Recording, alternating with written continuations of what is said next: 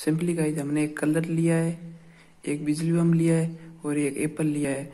और इस कलर के माध्यम से इस कलर के माध्यम से हम इस एप्पल के अंदर एक छेद करेंगे जो, जो कि इसी प्रकार देखिए।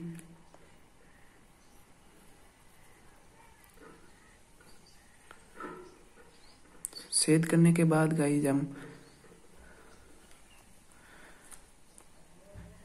इसी प्रकार छेद करेंगे। छेद करने के बाद गाइज़ हम इस बिजली बम को इसके अंदर डालेंगे। ये बिजली बम पूरा आया है। बिजली बम को अंदर डाल के बाद में देखेंगे कि ये बिजली बम इस एप्पल के चीत उड़ा पाएगा या फिर नहीं। चलिए वीडियो शुरू करते हैं।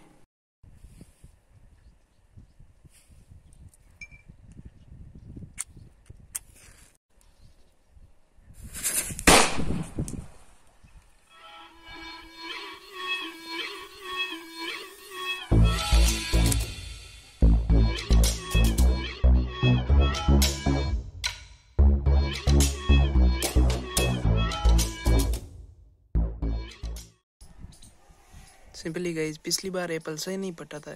इस बार वापस दूसरी बार ट्राई करते हैं।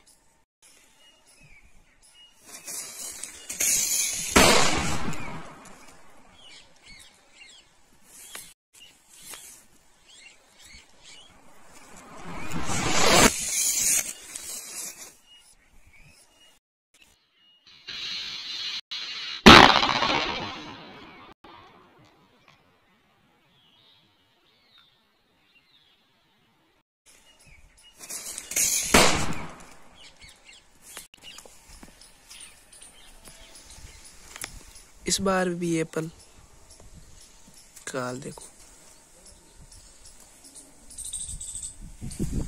वीडियो पसंद आए तो लाइक करना और चैनल को सब्सक्राइब कर देना।